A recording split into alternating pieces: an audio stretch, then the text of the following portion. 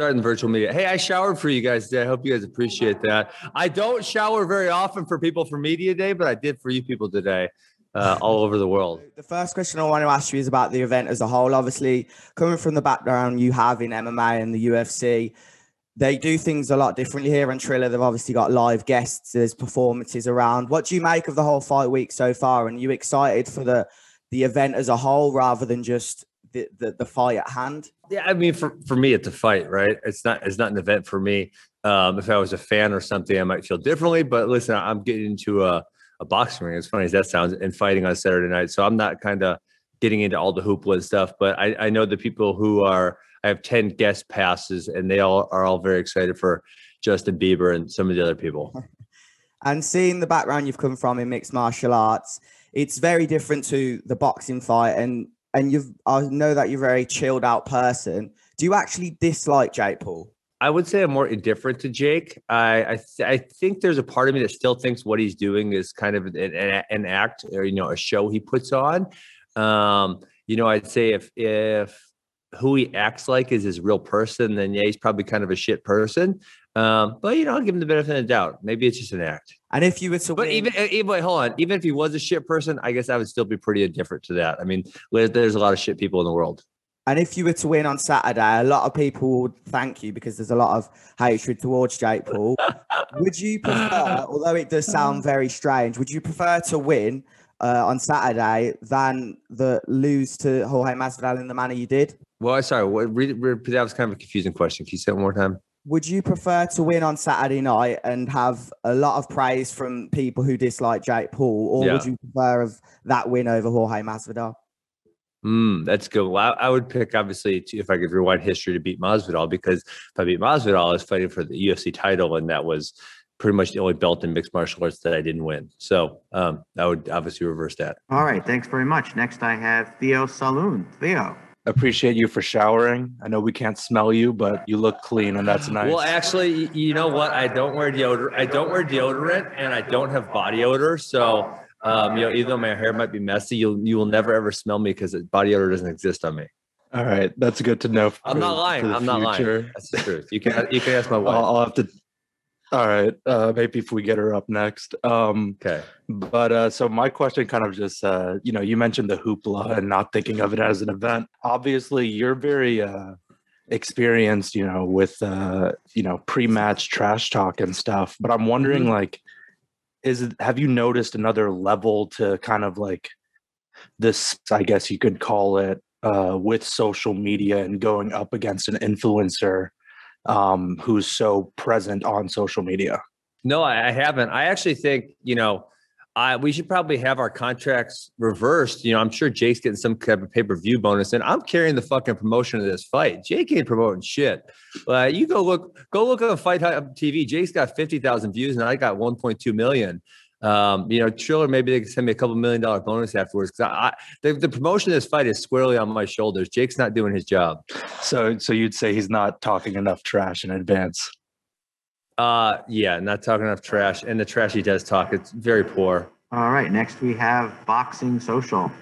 Ames here for Boxing Social in association with Betfred. How you doing, Ben? You're all right? I'm doing pretty well. Good, good to hear.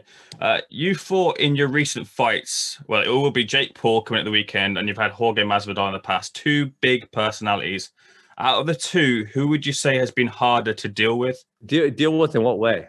Uh, mentally, in terms of approaching the fight, everything encompassed in like dealing with the fight in yeah, general. I I kind of deal with every. I kind of deal with everyone the same way. I try to try to make it as similar as possible every single fight, and that's uh, I mean, same same with this week. You said uh, as well, uh, leading up to this fight, this is essentially for you a one and done, but there's a small chance that you could continue fighting on. Can you give me an example of what that small chance means in fight terms? Like who would have to be in the picture for you to fight on? Yeah, I don't really intend to box after Saturday night, but no, it's it's it's not a it's not a who question, it's a how much question.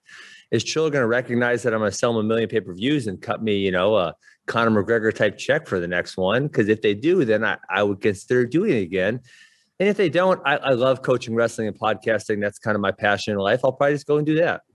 Well, a Conor McGregor like check would include Conor McGregor, right? Oh, uh, I can't imagine the UFC. Uh, uh, well, Conor's a significantly better boxer than myself, and obviously Jake Paul as well. Um, I would love to fight Conor McGregor in mixed martial arts, but again, I'm I'm going to be retired, and yeah, I just don't really see all that happening. I'm just saying, you asked me how I would come out of how I would do this again, and how I would do this again is if they if they give me a very large amount of money. You have a weight on your shoulders uh, from the people. Really, who, I don't who- feel it.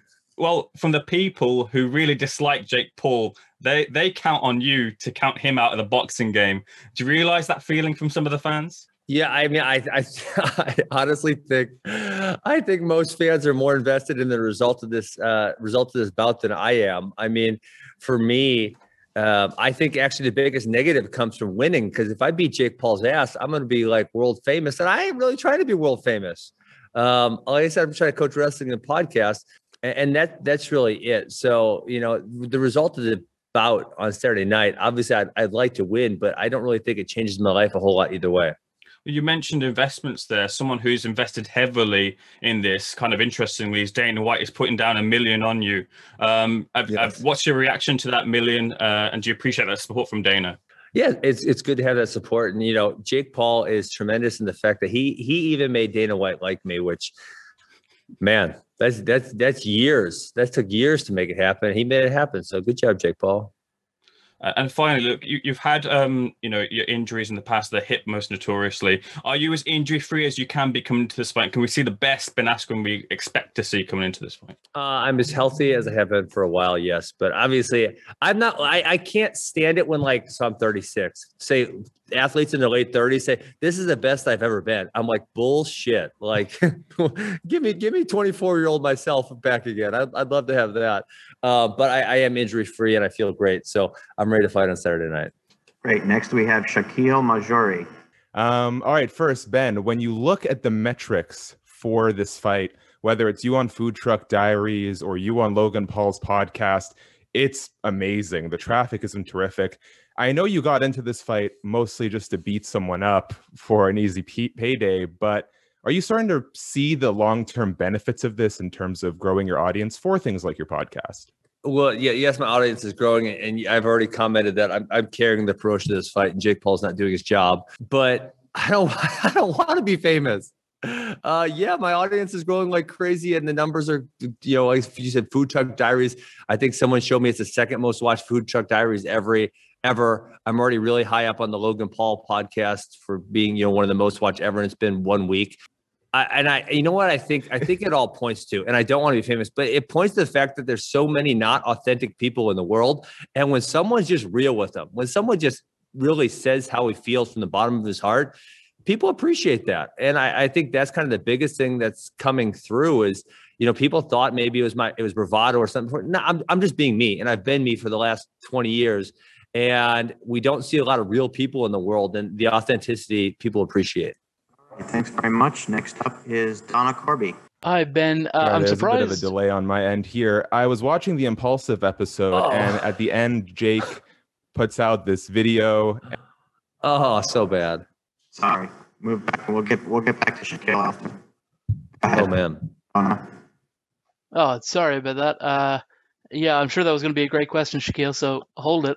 Um, but Ben, uh, I'm surprised I'm able to ask you this question. I thought it would be the first one asked. Were you were you playing everyone with the sparring footage going into this so that you could stun everyone at the open workouts yesterday? Because that's what I'm reading on social media. People are are amazed at how good you looked yesterday.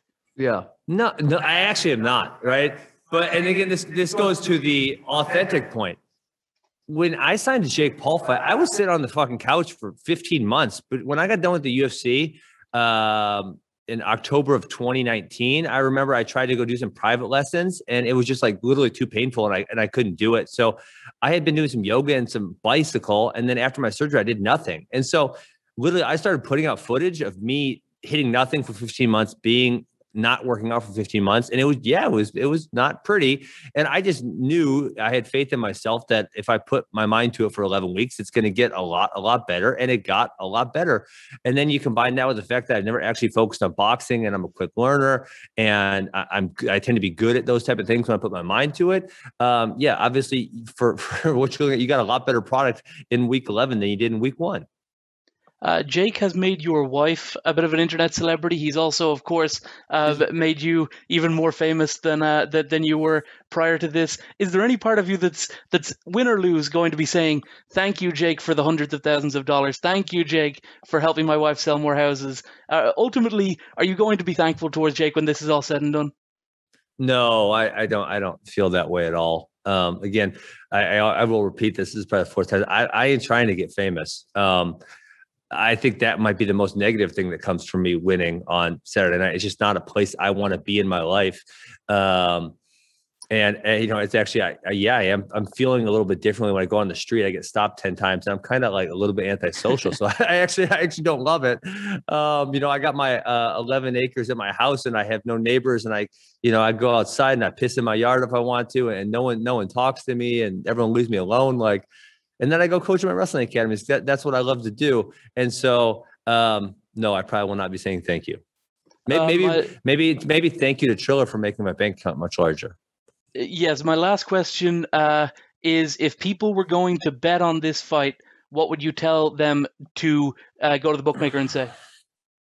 So I actually think betting on this fight is uh is very risky, which hey, some people love risk. And, and I think a lot of people just want to say, I bet on this fight because they want to have an opinion one way or the other. But compared to like for me, just as a gambler, you know, the fights that I want to bet on are the ones where I'm like, dude, I've seen these dudes fight 20 times. I know exactly what they're going to do. I understand both their strengths and both their weaknesses, and I understand how they fit together, right? When I look at MMA fights that I I, I don't actually gamble that much anymore. I used to gamble quite a bit, and I, I would win quite a bit. Um, and but this one, there's so many unknowns. There's literally so many unknowns. So i- if you're gambling, you just love to gamble. Which you know, hey, gambling makes everything more fun. So why not? Okay, great. Thanks so much. Next, we have the great Damon Martin. Oh, the great Damon. I know Damon Martin. I know I saw him in Ohio one time in like 2014. hey Ben, uh, What's up? We when we did our interview right after the fight was announced, I, I kind of joked with you about wrestling Jake Paul, and you said that wouldn't be fun because it would last like 11 seconds. Did you see yesterday? Jake actually Yes. said he wanted to wrestle you. So, uh, will you accept that challenge, and how quickly would that fight go? I I cannot figure out. I, you know, I always, always, always try to think of what is someone's angle on this. I can't figure out what his angle is. I don't know.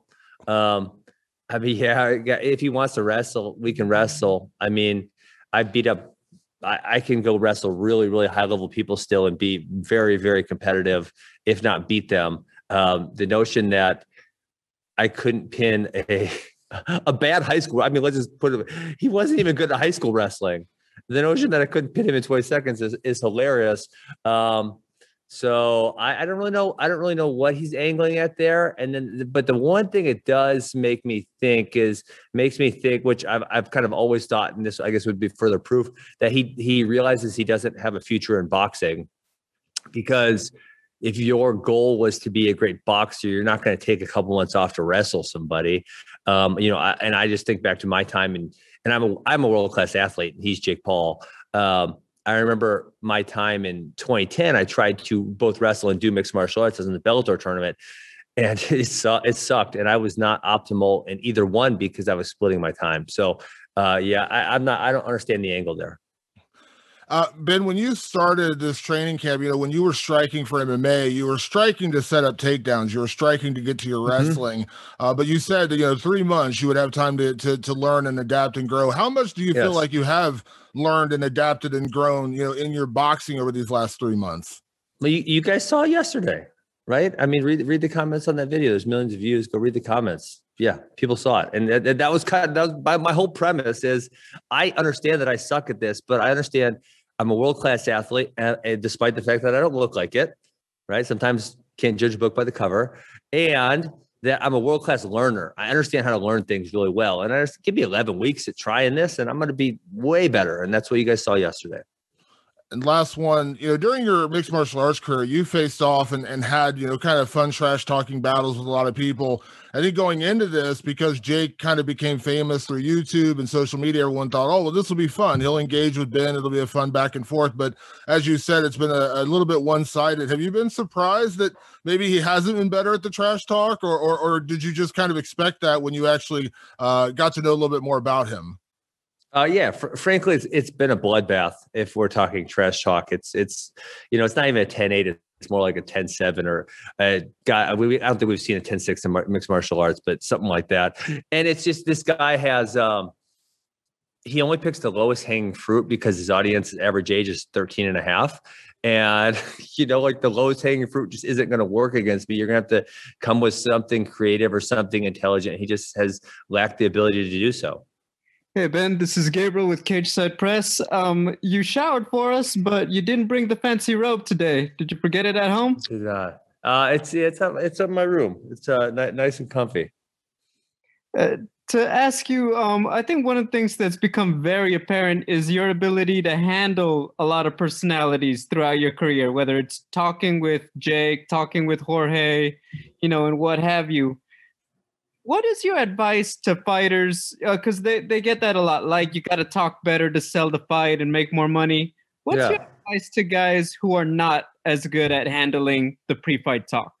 So I don't want to say necessarily have to trash talk, but you, you have to have a personality, right? There has to be something that people are interested in in order to tune into your fight. The fight is just not enough, or in, in a few cases it is, right? Uh, but but uh, the majority of the time it's not. Um, so create create some type of personality for yourself, and then I would say on the second side is like I you know I grew up Muhammad Ali was my favorite athlete. And so, you know, he used psychological warfare to his advantage. And I can tell you unequivocally, whether it was my wrestling career, my mixed martial arts career, is that, yeah, when the other guy's really angry or emotional, it, it's so beneficial. I mean, it really, really helps a lot. And, you know, actually, I was, I kind of told someone that night and they, they pointed out, which is an obvious play, is Jose Aldo versus, um, uh Conor McGregor. Like Conor was so far under his skin, and that that was the reason the fight was so easy for him. Is he made Jose mad? So it, it not only would it be beneficial from a promotional standpoint, but it's actually beneficial from a competition standpoint. And so yeah, go go get started figuring it out. It sounds like it might be Eddie Alvarez who'll be the next MMA star jumping over to box somebody for Triller. I was just wondering, Yeah. what are your thoughts on Eddie possibly getting in there to box Oscar De La Hoya in June? Uh, well, I, love Eddie because he's a Bitcoiner. Um, and I, I felt bad about his last fight because I, I didn't agree with the referee's call at all. But I actually heard it's gonna be Tyron Woodley. That's what I heard. I mean, what advice do you have for him? Obviously, you guys have been really close. What is Yeah. your advice for Ty- how- Tyron's a Tyron's a much better boxer than myself. I don't got any damn advice for him. You, you don't you don't try to give advice to someone that you're worse than. You'd say that you don't like being famous and everything. Can I ask why? Because I think a lot of people would say, Ben Askren, you're kind of pretty good at being in the public eye. You're Oh. God, that, that's what that's what my wife that's what my wife says too. She says like, you know, I know you don't want this, but um, you you seem to thrive in that environment, and it, to me, it, it feels like like a wrestling locker room where you guys, you know, everyone's just kind of talking shit, and uh, you know, you roll off your back, or some guy gets bothered, so then you keep antagonizing him. Um, I don't know, like I just don't have the desire, and I, you know, um, I, I guess in the case that I could give positive, you know, I think like I just I have I have a quote, and I think it should I should probably trademark it at some point.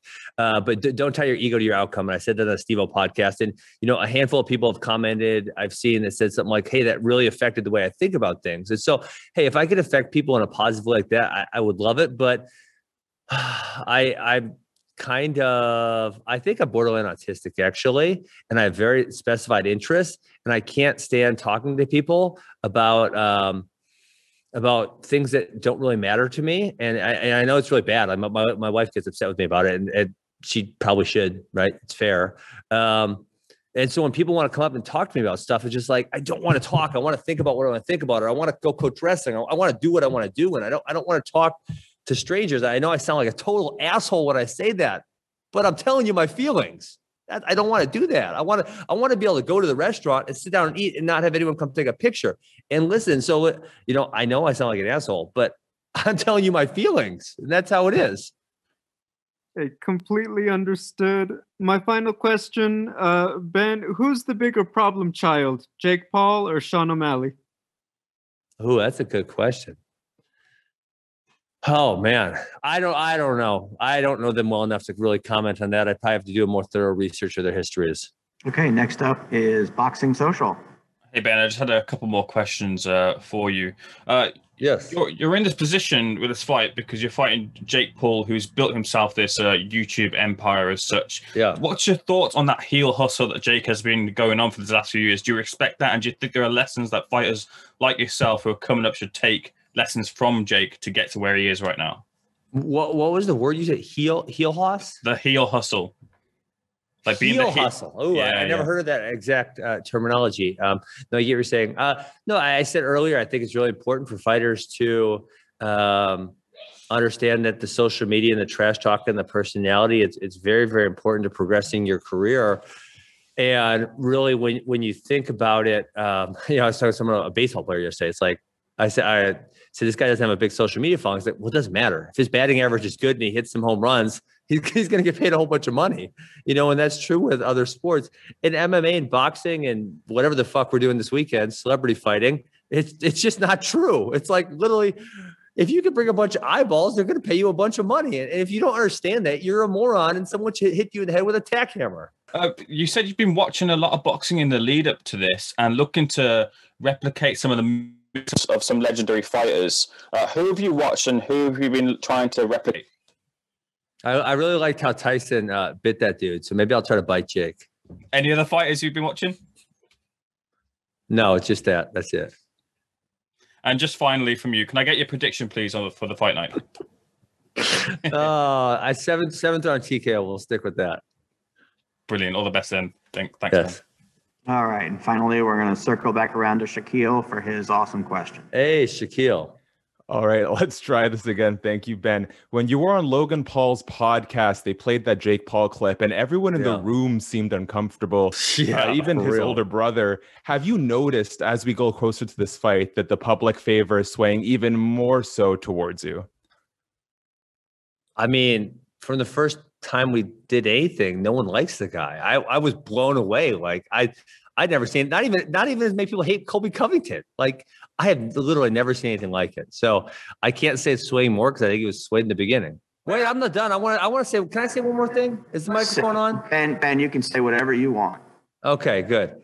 Listen, I intend I fully intend to box on Saturday night, but Jake Paul is is telling lies when he says my purse will be deducted for me doing a non MMA a non boxing move. That's just not true. He made it up, and I would just appreciate all you guys write that uh, he's telling lies. Peace.